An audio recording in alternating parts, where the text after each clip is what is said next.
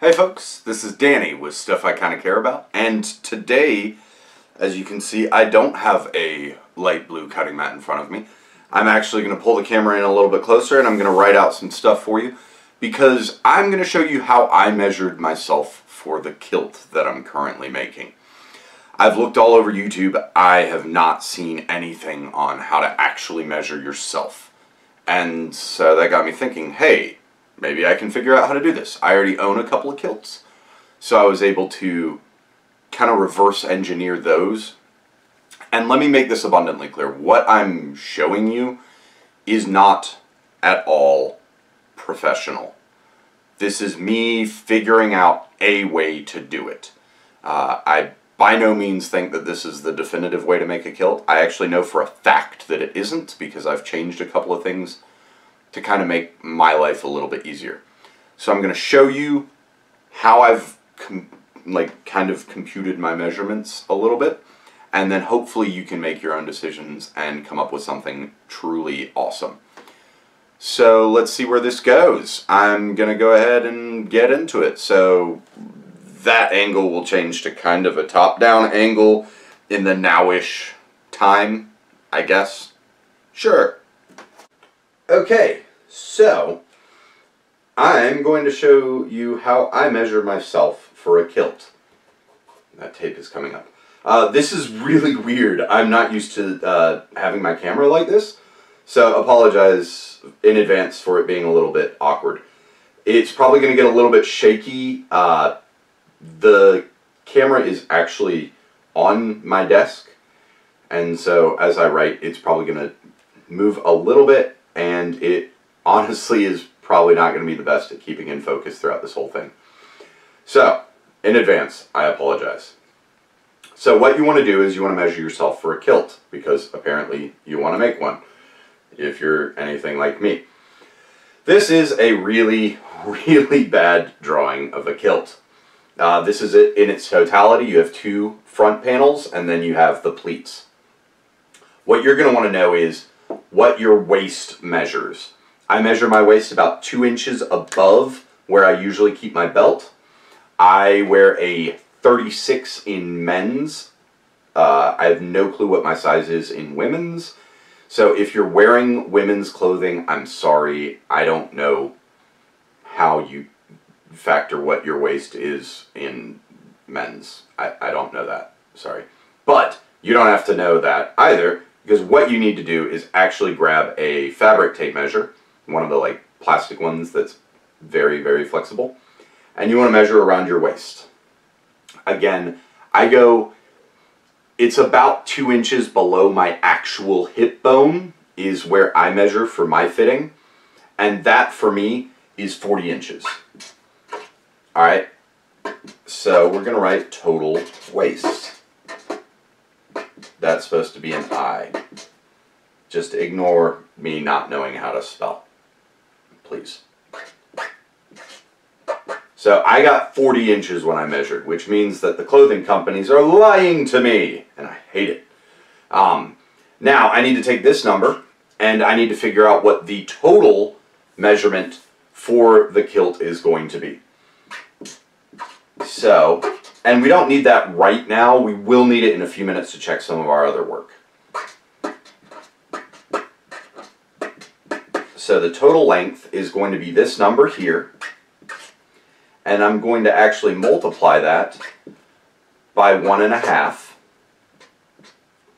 And that's going to come out to 60 inches. And so this is going to be basically from here to here is going to be 60 inches. That's an important thing to know.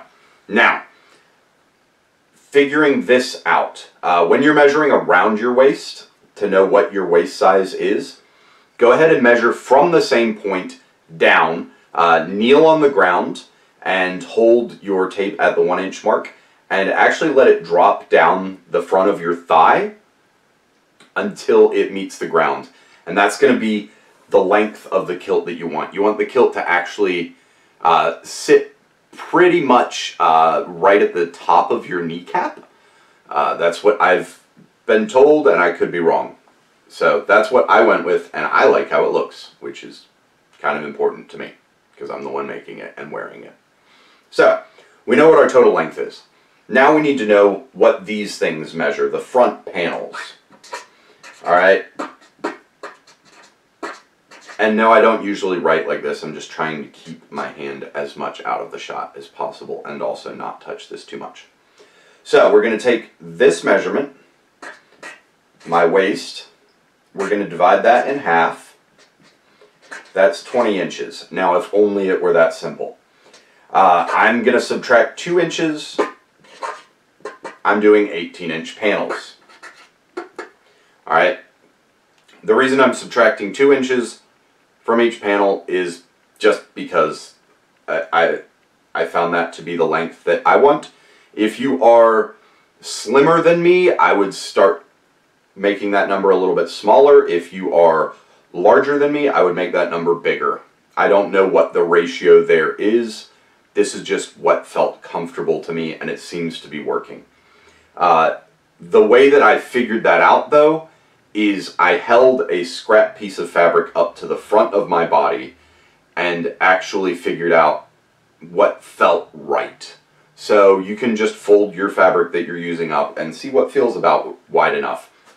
And then, once you have this number, you can figure out how much this section for the pleats is going to be. Which is another very important thing. Uh, so it's going to be 40 divided by 2 again, and that's equaling 20. But now we're going to add 2 inches because we took it from this panel, and we're going to add another 2 inches because there's another panel. So you basically want to take what you subtract from half of your kilt for a panel and add it, and then add it again. Uh, it doesn't make a ton of sense. But the cool thing is, is this number plus this number plus this number equals this number. So 24 plus 18 plus 18 is 60 inches. So that's why we wanted to go ahead and have that. We wanted to make sure our homework checked out. I sincerely doubt that if you are any size other than exactly my size, this will actually work for you. But these are things I've found helpful. It gave me a place to start. So I know what my pleats are looking like.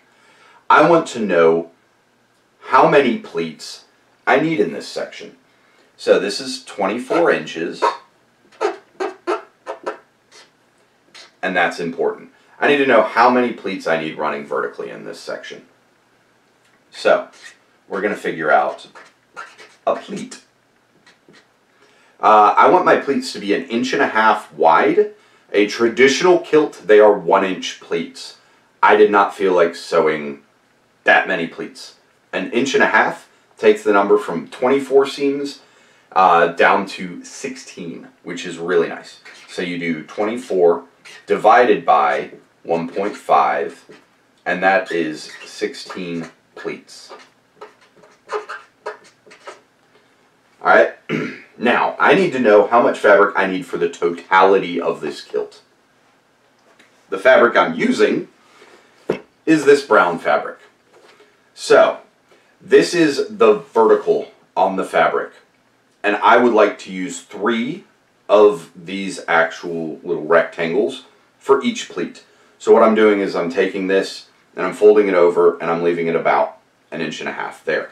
And I'm leaving this seam on the front of the pleat so that that pattern can just repeat throughout the, the piece. I know that from here to here it's 8 inches. Uh, you do not have to do 8 inches, you can do 6 inches. That means that you will need a little bit less fabric. Um, you can do more than 8 inches. It's kind of whatever you want to do. I chose 8 because the pattern dictated it. If you were using something with a vertical pattern, I would actually encourage you to follow it. It makes folding the pleats in a lot easier. So, knowing that each pleat is going to use 8 inches of fabric, I just multiply my 16 by 8 and I get 128 inches. That's very nice. So now I know I need 128 inches of fabric total for this section here. oh wait, I still have these two sections. Well, that's easy enough. I know that that's 18 inches. So I take my 128, I add 18, I add 18 again, and that equals 164 inches of fabric. That's a great thing to have. How much do I need to buy? They don't sell fabric in inches. Well, that's simple enough. I take 164, I divide it by 36, because fabric is sold in yards. Because America. And that is going to equal 4.55 repeating. That's how many yards of fabric I need if I want to do this in one continuous piece. Say this right here is my piece of fabric. The other thing I could do is I could bisect this at the half uh, if I have a long enough piece of fabric. Remember, you're going to need about 24 inches, maybe more, maybe less, for the, the actual length of the kilt. So if you've got 50 plus inches this way on your fabric, then you can cut it this way. You can actually seam this edge and this edge together and kind of take this and extend it and make it this really long piece. And you could get away with two and a half to three yards of fabric at that point. Personally, I am actually hand sewing this kilt because I want it to have a hand sewn look. Like I'm literally hand stitching everything, not machine sewn. And it's, I'm not happy with myself for doing that because it's so much work. Oh God. But anyway, I don't want an extra seam in the middle of my fabric because that's just more work for me. So I measured out the whole thing out of one piece of cloth. The other thing that we want to take into account is seams. Okay, so if traditionally with kilts, um, they actually have what is called a, uh, a selvage edge here, I believe. Um, and that is a finished, like a factory finished edge. Um, I don't have any wool handy to show you what a wool uh, selvage edge looks like, but it's actually really nicely professionally done, unlike some other fabrics.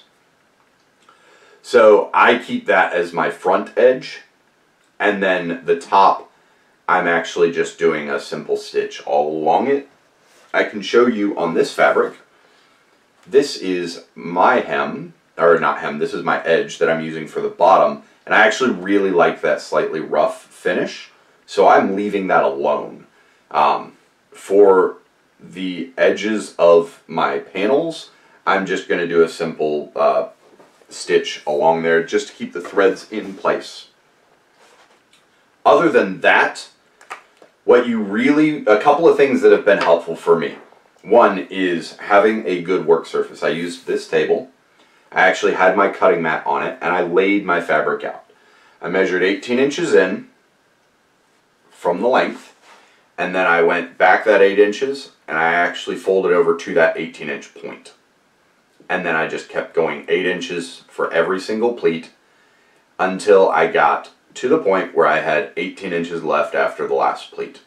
If you're doing a little bit more fabric, then just measure this until you get this number of pleats that you decided that you need, which is 16 for me, uh, or 24 inches of pleats, whichever one uh, you feel more comfortable with and then you can cut this one down to 18 inches. Uh, sewing and all of that stuff I'm going to get into in another video. I just wanted to do a simple, really quick, hey, here's how you measure it. I'll give you some tips and tricks on folding in the pleats and sewing it up on another part of this video or another video entirely. We'll see how long this ran. Hopefully you guys are having a fantastic week. I know I am. Please continue to be excellent to one another, love each other genuinely, and go out and make something. If, ooh, I forgot to say this, sorry. I, I was acting like I was wrapping up. If you are differently sized than me, do me a favor. Please comment. Please let me know what's going on. I want to know how this thought process works for you whether you're larger or smaller than me. Hopefully this will be helpful. Again, I'm not a professional. I'm just sharing what I did to arrive where I got to, and it's been helpful for me. Feel free to like, comment, subscribe, all that good stuff, and I'm gonna call it quits for now.